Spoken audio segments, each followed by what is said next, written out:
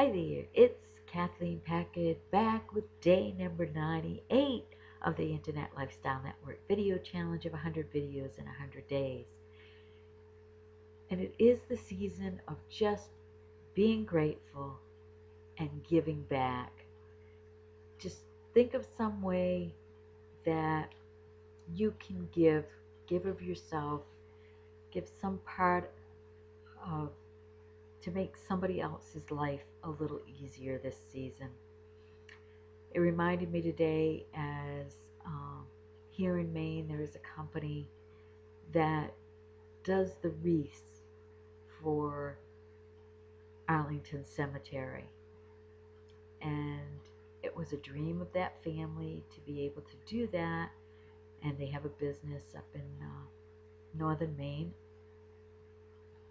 down east they call it, that makes all these wreaths and then has kind of a convoy of trucks that takes them to Arlington Cemetery,